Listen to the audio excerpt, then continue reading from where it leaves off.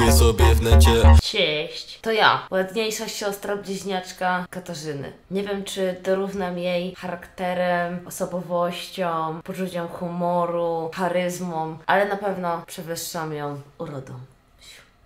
A to jakieś święto, że się pomalowałaś? Nawet nie ja sama się malowałam, tylko malowała mnie pani makijażystka, to chyba widać, bo jestem tak wow pomalowana. I miałam dzisiaj sesję zdjęciową do nowej współpracy, więc stąd makijaż. Jak wrażenia po konferencji? A no właśnie, my nie mieliśmy nawet okazji porozmawiać po konferencji, moi drodzy. Konferencja była spoko. Od backstage'u mi się bardzo podobało, byli bardzo mili ludzie. Poznałam dużo nowych osób. Z panem Mateuszem Kaniowskim staliśmy stanowisko w stanowisko tam do prowadzenia wywiadów i był bardzo miły, bardzo sympatyczny. Teraz musisz uważać, bo z druidem pracujesz. A na co muszę uważać? Na druida? Jeszcze nie wiem, czy będę z nim współpracować. On ma jakiś dziwny pomysł, żeby wywiady były prowadzone w elfich uszach. Jak uda mi się to wybić mu z głowy, to może Kasik będziemy współpracować. Bo wiecie, on sobie myśli, że on druid, lasy i te sprawy, to żeby wywiady były robione w elfich uszach. Mówię, że lepiej nie. Bardziej właśnie mogę się przebrać za krzata, za krasnala czy coś. To bardziej pasuje. Kasia dzisiaj make-up? Nie, nie mam make-up. Na serio to tak wyglądam naturalnie. To jest ten mój naturalny look zaraz po wstaniu. A zwykle na streamy się maluję właśnie, żeby nie było widać, bo byście pomyśleli, że niezła szprycha ze mnie i żebyście, wiecie, nie patrzyli na mój wygląd, tylko skupiali się na mojej osobowości. Dokładnie tak. Imo wyglądasz lepiej bez. Zawsze jak dodaję zdjęcie, na przykład jak jestem tak na sesję pomalowana czy coś i dodaję zdjęcie na Instastory, że o, mam ładny makijaż, coś tam, to ludzie yy, bez makijażu lepiej, fu, po co ci to, łe, łe, łe. Czasami można, no bez przesady. Trochę się dziwię, że na wywiadach byłaś bardziej zdenerwowana niż jak jesteś na żywo z czatem. Na żywo z czatem jest inaczej. Na żywo z czatem już robię to, wiesz, od trzech lat. Tu jestem już przyzwyczajona, są stali widzowie. Właśnie, wy kumple, wy jesteście kumple. Ja sobie mogę tu gadać głupotki i robić różne rzeczy, więc tutaj, tutaj się tym nie przejmuję. Tam to szło do nowych odbiorców, byłam w nowym środowisku, w nowej roli. To też trochę inaczej. Poza tym wszystkie te wywiady, jakie robiłam, w głowie, jak podchodziłam do jakiejś osoby, to w głowie miałam maks jedno pytanie. O ile w ogóle miałam jakiekolwiek przygotowane. Wszystko było na żywioł. To, co było pierwsze tam, ja wam powiem. Wchodzicie na kanał Wspaniałe Wywiady, wchodzicie w videos i macie debiut Kasix. Debiut Kasix. To ma 370 tysięcy wyświetleń. A wiecie co to było? To była kurwa próba mikrofonu. Czy działa? Co to jest małe czarne i puka? Dziecko w piekarniku.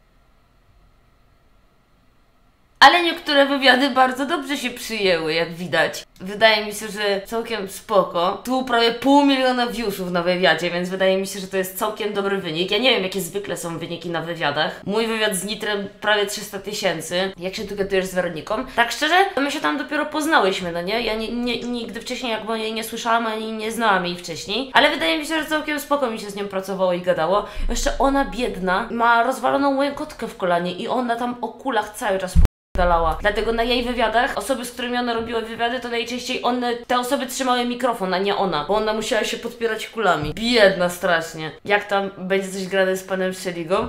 No właśnie się z Szeligą mówiłam na duo w lolu i mówi, że mnie oglądał. Także śmiesznie, fajnie. Czemu taka niemiła byłaś dla wuja? Bo dla wuja to można czasami. Z Nitrem fajnie się robi wywiady, bo na przykład jak robiłam wywiad z Wojtkiem Golą, albo po prostu z innymi ludźmi niż z Nitrem, to musiałam im wysoko mikrofon trzymać, a do Sergiusza to wystarczyło, że tak podawałam mikrofon, no nie? Bo do wysokich ludzi to ręka cię boli, ale do Sergiusza nie. Sergiusza było na lajcie. Ale ty malutka przy nich. Najgorsze co było, to jak ja tam się gdzieś przemykałam, wiecie, szukałam sobie ludzi do wywiadu, gdzieś tam z kimś gadałam, a ludzie tak O, ty jesteś Kasix! Ale ty jesteś mała! Mówię.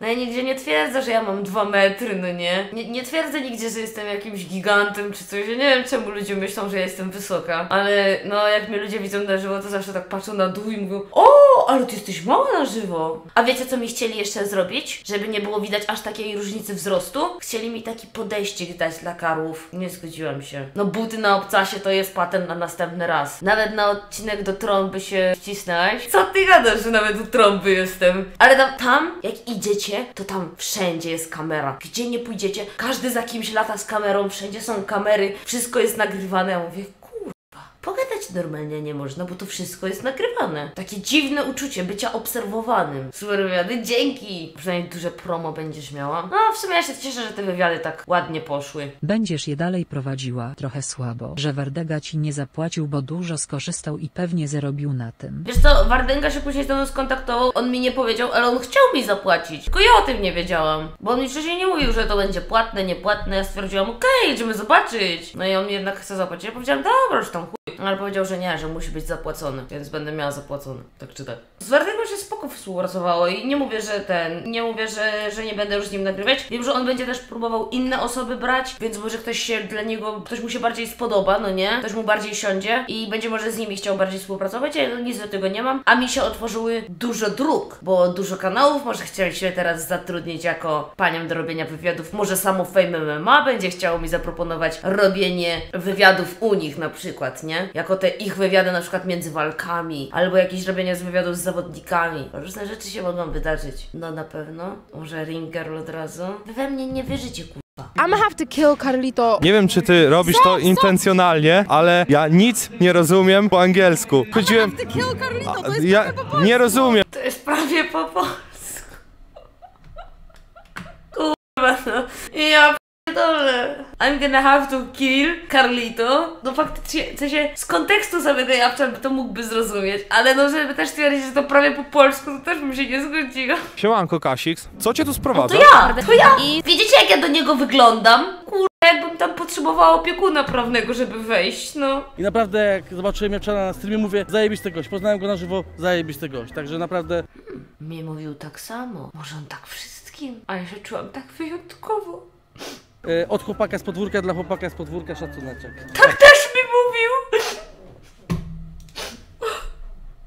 Wraz ze mną legenda polskiego freak fightowego MMA. Ja się do niego bałam podejść po wywiad. Tak szczerze. No, jeszcze chłopaki mówili, o, tu jest stary Murański, idź do niego po wywiad. Mówię, a boję się kurwa. Autentycznie. Przecież ja jakbym jakąś literówkę zajebała, gdzieś bym kurwa przecinka w rozmowie nie postawiła albo coś, to bym chłop wyjaśnił tak, żebym się nakryła nogami. No kurwa. Boxdel, schudłeś. A Boxdel? Jak ja stanęłam przy Boxdelu, ja sobie myślałam, kurwa, on jest taki potężny, taki wysoki, taki szeroki. Ja mówię, kurwa. Czyli nie wiem, jakbym stanęła, to w ogóle dramat by był. Jest taki masny, no. On jest taki masny. Ale ci ludzie zupełnie inaczej wyglądają na kamerze, niż w prawdziwym życiu. Kotów się nie myje. Tylko tylko musimy myć, musimy mu myć dupę w bidecie. Kurwa. A, niestety, ale kot ma, jak ma biegunkę i ma za długą sierść przy dupie, to się, to się kot może postrać. I my mu musimy później, wsadzamy go do bidetu, dajemy, puszczamy mu wodę i mu myjemy dupę. Jaka ty jesteś tempa, dole, bo co, bo myję kotu dupę w bidecie? i kominek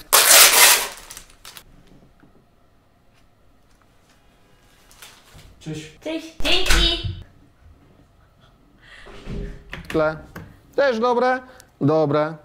Super gala. Super gala. Kurwa. Super gala. Antek, naprawdę. Pomysł świata, ale to nie jest wcale zły aktor, jak piszecie.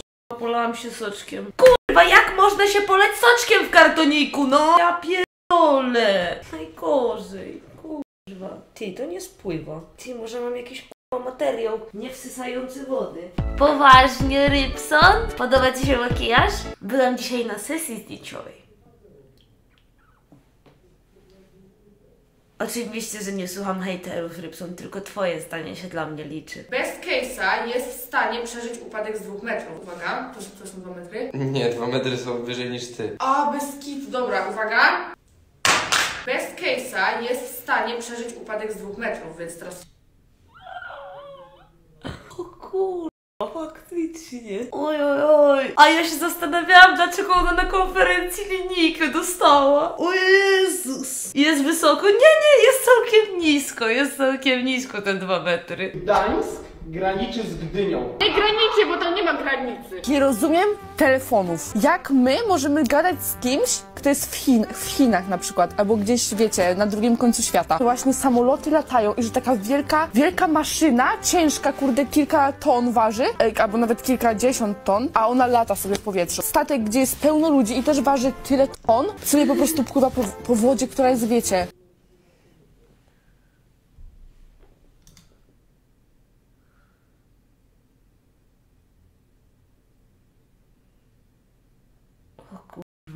Na kanale Rafoniksa obgadują twój debiut z Bąblem i Ulfikiem? Poka! Ta ładna, tak? Co mówisz, że ładna? Ona jest ta ładna, ja chociaż ta zabawna?